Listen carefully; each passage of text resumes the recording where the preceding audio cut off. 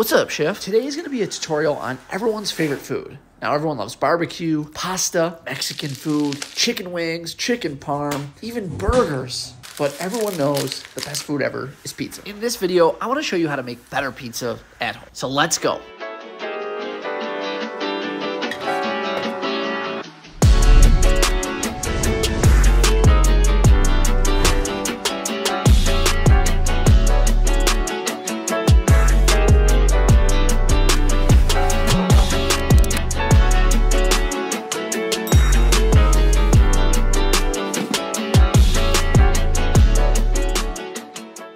Start with the tomato sauce. It's easy to nail if you start with really good tomatoes. So in a bowl, you're going to add some crushed tomato, and to that, I'm just going to add about a tablespoon of olive oil.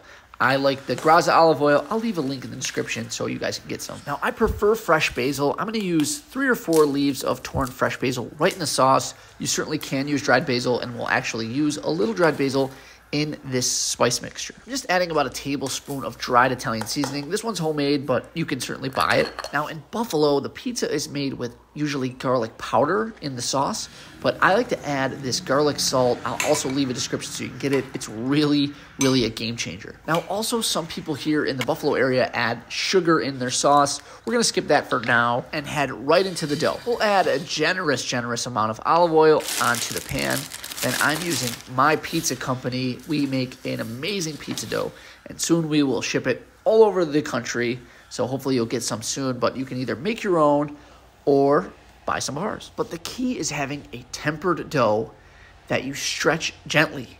You don't want to overwork. I gently stretch the dough with my knuckles, and then once a circle is slightly formed, I'll put it on the pan. Then I'll continue to work out the shape with my fingers and make sure that crust stays nice and intact. Now in this case, I'm feeling a little sticking, so I will pick up the pizza. I know I have enough olive oil, so I'll just kind of reset it, and I think we're good to go. I have my dough where I want it, but I'm actually gonna walk away for a few minutes and let the gluten just relax. I'll come back, press it back out, and again, I'm gonna add a little bit of olive oil because I love olive oil, but that part is up to you. We'll add our sauce and we will spread it out, and we wanna make sure it's even and it rides all the way up the waves of the crust. Because I love basil, I'm going to do a little bit more basil right under the cheese.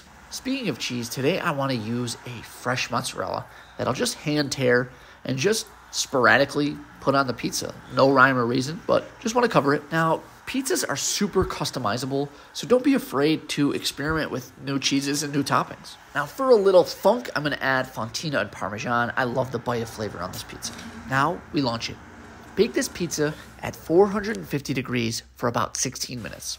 Now, every oven's different, so what we're gonna check for is that the crust feels hollow, doesn't feel dense and heavy, the cheese on top or your toppings look cooked, caramelized, crispy. Now, I wanna take this a little further, so I'm gonna broil for two to three minutes on high. Now, this is cooked where I want it. I'm gonna let it rest for just a few moments. So it's the perfect opportunity to get a little garnish. I'm gonna add a little bit more of that Fontina and Romano, tons more chiffonade of basil, and I'm going to actually add some dried oregano and a little bit of chili flakes.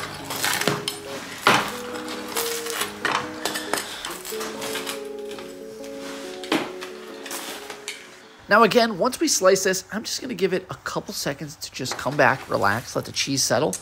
And we're about a few minutes away here from having a delicious pizza made at home. Save you a couple bucks. So give this one a try, and if you like the video, give us a thumbs up and subscribe. We'll see you next time.